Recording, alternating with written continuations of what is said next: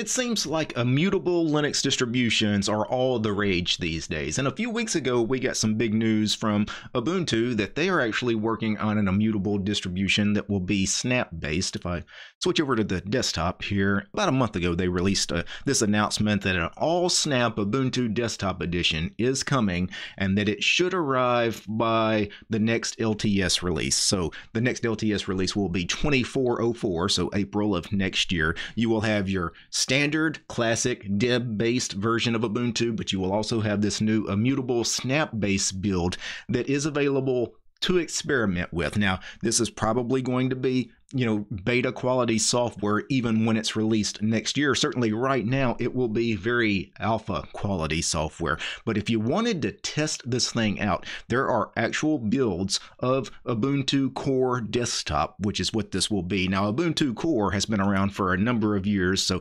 ubuntu has an edition called ubuntu core that is designed for iot devices. It's snap based and it's been around uh, at like six or seven years but it's not really designed to be used on a desktop computer with a desktop environment and you know all of that. But now they're working on this new project, Ubuntu Core Desktop, and if you go to their GitHub page, you can actually find builds of this that you could try out, install it in a virtual machine, and see what you think. And that's what I'm going to do. So over on their GitHub, if I go to Actions, and under Actions, what we need to do is find any post where they've actually built an image, and you can actually filter that with Build Image here, which most of these posts are build image related posts. So I'll just go to the latest one here.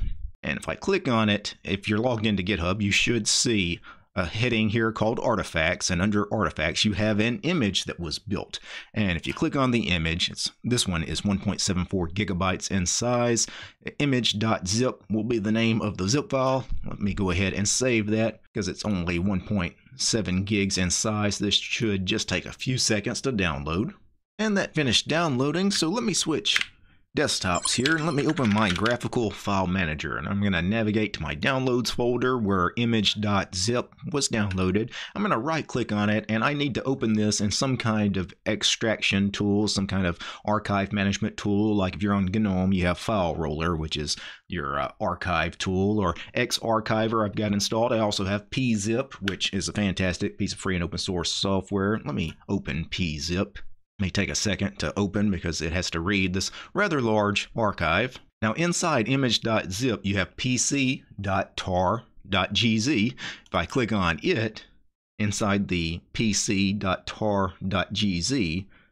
I should have another file and it took a few seconds for the second uh, window here in PeaZip to open but you can see now I have pc.img and a .img is something we can actually work with in a virtual machine. We could actually convert that to a, a VDI file for example and, and actually boot directly off of VDI a virtual disk image inside VirtualBox. So what I'm gonna do let's extract this one file here because that's the only thing I need. I need this uh, .img file, so I'm going to extract the selected object, and I'm going to extract it to, uh, by default, it's going to extract it to slash temp, which makes sense because it's going to be a very big file, and it'll get rid of it if you never do anything with it if it's in temp. But I'm actually going to permanently put it in my downloads folder. So let me choose that and hit OK.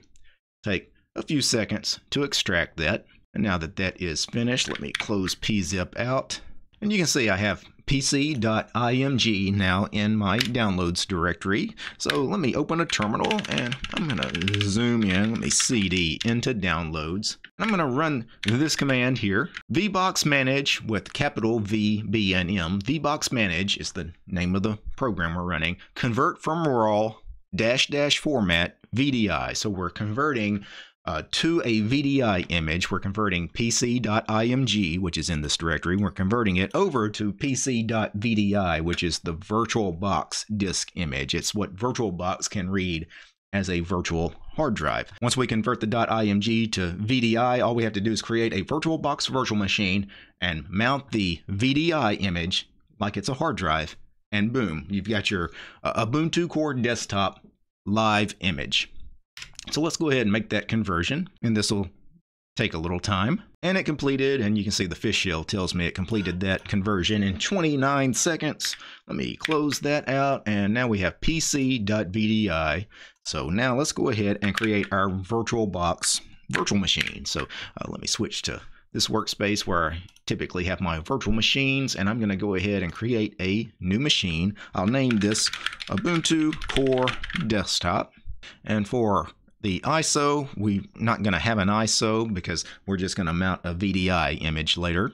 Type Linux version of Ubuntu 64-bit yeah all of that is good. Let me click next. I'll give this VM 6 gigs of RAM. I'll give it two threads my 24 thread CPU. Uh, disk size we really don't need a uh, virtual disk size because we're actually going to use an existing disk. Let me search for the existing disk. So I'll click add. Let me go to my downloads directory and let's add pc.vdi. Now let's click next. Uh, we get a summary and let's finish. Now we've created our virtual machine before I do anything else though. I do need to go into settings because Ubuntu Core Desktop will not work unless we go into system and turn on enable EFI. It has to be EFI. And that's one of the reasons why I'm using VirtualBox for this VM is because VirtualBox makes this easy. You just tick on that box. The other thing I want to quickly do is go into display and give it the maximum video memory that VirtualBox will let us here, 128 megabytes.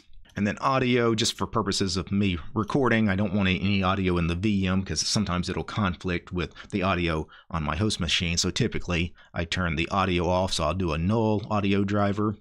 And let me click OK. And that, that's just for me because I'm recording. If you don't have to play with the uh, audio settings if you're just testing this out on your machine. And if all of this works correctly, I should be able to actually boot this now.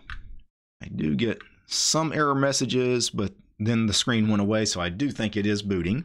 VirtualBox here, and this is the, I think the EFI portion of VirtualBox booting up here. It's a systemd message here, and it is hung on this one systemd message here, failed to write slash etc slash machine ID. It's been stuck on this for uh, nearly a minute now, but it does look like it's going to get past it. All right, and then we get the Ubuntu Core splash screen. Well, I think it is going to work. Now, the first time you load this, I believe it is going to take a few minutes to actually set up the system. Yeah, you can see it's starting the system because everything is snap-based containerized, right? All the snaps are containers. You're going to see some some output here at the bottom of the screen. You can see it's going to mount all the snaps. I'll pause the video. I'll be back in a couple of minutes once it finishes this setup here and it finished the setup that took a couple of minutes and then as soon as it finishes that it boots you directly inside a live GNOME environment and starts this setup screen which you guys have seen on the standard desktop of Ubuntu. You can see welcome to Ubuntu Core 22 start setup and this is where you need to go ahead and set up keyboard layout and all of this. I am using English. I need English US so let me search the list English US and then click next privacy. I'll leave all of the geolocation stuff turned off. Time zone uh, let me choose the central time zone in the US and then I'll click next and then connect our online accounts. I'll skip all of that. Then we need to create our user. My user will be DT click next. Uh, let's set up a strong and complicated password for the DT user and then repeat the strong and complicated password and then click next and then start using Ubuntu Core. Now let me fix the screen resolution here once it finally loads up. I won't make this a full 1920 by 1080 resolution because honestly I'm not going to do much with it. So, but I do want to make it a little bigger. Uh, it looks like a search for display doesn't do anything. Let me just search for settings. And then in settings, I should have displays. Yeah, that is a bit of a bug, I think, that the displays does not show up in like the uh, GNOME dash. Let me do a 1360 by 768, kind of like a laptop screen resolution here right? And so this will be a little smaller, keep changes, but at least you will be able to see the entire screen here. So let's get out of that. Uh, one other thing I probably want to do, this is a very large panel on the side. So let's go into appearance. I want a dark mode turned on and I want the dock. Instead of 48 pixels wide, let's shrink that down to about 32. That seems, yeah, much more normal. We've got our home directory here, which I really don't need.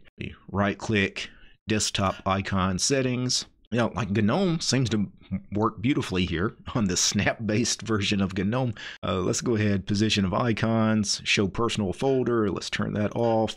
Yeah, and now all of that is gone. Now, I'm not going to do much with this. For one thing, it's very early days. It's very alpha quality kind of software, and I don't know much about it. There actually isn't much written about it over on the GitHub. So, but I can Control Alt T to open a terminal. You can see to run a command as administrator, you need to use sudo. That's nice, but it does not load the bashrc, permission denied, right? So that is kind of weird. So does sudo actually work?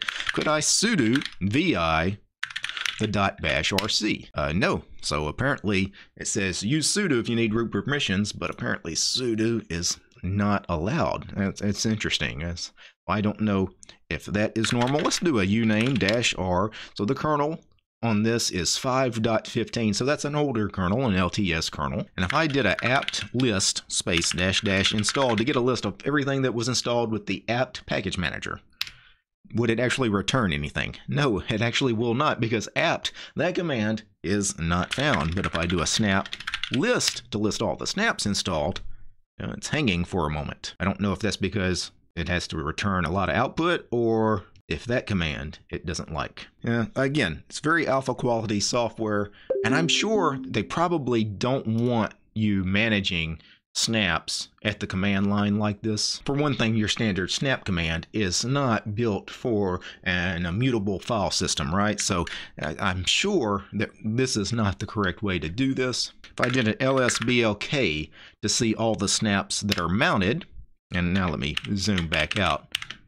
I'll zoom way out. I know you guys can't read this, but this is just to show you how many snaps are actually mounted. So here's the loopback devices. It looks like there's 24 that are currently mounted as loops, 25 since they start counting at zero. And if you wanted your lsblk command to not have all of that loopback device, I've showed this before, all you need to do on any Linux distribution, lsblk space dash e space 7 and it will eliminate all the loopback devices that were part of that output, although you're still going to have a ton of stuff mounted here. I'll have to zoom out so you can even see that. So LSBLK-E7 got rid of all the loops, but it, you can see the partition scheme. They've got one, two, three, four, five partitions and a lot of mounts. So I can't do much in the terminal as far as package management stuff. It does the apt is not here in snap, the snap command. Uh, doesn't look like it does much. The help for snap works, but could I snap install htop? Because I know htop is available as a snap. This error cannot communicate with the server. Yeah, and you know some of this makes sense. Why you know I can't edit my bashrc or why I can't install htop or whatever. Uh, the whole point of an immutable distribution, of course, is that nothing ever changes. So it's a little bit of a different kind of situation with these immutable distributions. I'm going to move the Snap Store, the Software Center, over to the dock because I imagine that this is actually probably the proper way to get software. So let's launch the Software Center here. And let's actually try to install uh, something. So htop, again, I know it's available as a snap. There it is. I click on it. I click install. You can see it's going to install it as a snap from latest stable. Give it my sudo password. And although snap install htop in the terminal doesn't work, which I kind of expected, it does look like it works just fine here in the graphical software center. I'm sure there's command line ways of doing that as well. I just uh, didn't take the time to look those up. But now if I go back to the terminal and run htop, htop, the command is not there. I wonder if it created a .desktop file for htop. It did, so it's in our menu system. If I click on it, uh, it looks like it ran for a second and then crashed. So yeah, but again, alpha quality software. And one of the problems with me trying to install software too, I don't have much storage here. I, I converted that .img to a VDI, VirtualBox disk image, but I don't know how much space is available on that. HTOP was probably okay if I tried to install anything bigger. I don't know if I would run out of space or not, but we'll just leave that for now. Let me go back to settings. Let's get some more information from the GNOME settings here. If I go to About, you can see disk capacity, unknown, OS name, Ubuntu Core 22, 64-bit, the GNOME version, by the way, 42.5. The windowing system, of course, is Wayland here. I get out of that, if I right-click on the desktop, let's change a wallpaper just to verify that that actually works. Oh, we'll go with the flower. Yeah, so changing wallpaper and everything like that works as expected. Look at the file manager. The file manager, yeah, seems to open just fine. Actually, as far as speed and performance, everything seems to be working as expected. I know some people often ask about the speed of snaps. Uh, I've never really had a problem with the speed of snaps. Now, I don't use Ubuntu. I know typically the people that complain about snaps are, are using snaps on Ubuntu. And, and sometimes in the past, Ubuntu, the speed of the snaps on their distribution for whatever reason seemed a little slow. I know I've had a problem in the past before with like the speed of Firefox opening. So let's try Firefox because I haven't opened it. Now, web browsers typically take a couple of seconds to load anyway. Yeah, I mean, that wasn't that wasn't bad, right? The file manager, which we opened earlier, uh, takes a couple of seconds. That's not too bad. Uh, let's see what else. I really don't have much here other than the terminal, which we've already opened. Let's see how the Snap calendar or uh, calculator that is launches. Takes a second or two, but uh, again, I'm not sure that that's any different than the uh, non-containerized uh, packaging of these particular programs. So this is just a very quick and very, very early look at Ubuntu Core Desktop. Now, obviously, I can't do much with it. There's not much installed, and I can't really install much. I didn't add any storage to this virtual machine. And you can see I don't know how to actually do a lot of stuff because uh, if you go back to the uh, GitHub page for Ubuntu Core Desktop, with their GitHub page, it's got information about how to test things out in virtual machines, right? To get a virtual machine up and running. But what it doesn't do is it doesn't really tell me like how to actually do things. Like nothing works in the terminal. Every command you enter in the terminal uh, pretty much says command not found. So I don't know how to actually run commands in the terminal. like I, I, there's just I can't find any information about it here.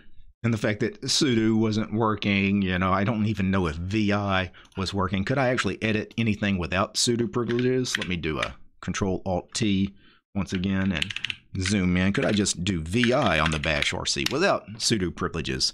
Uh, I can, but the bashrc is an empty file. Is that right? Let's do a ls dash la bash.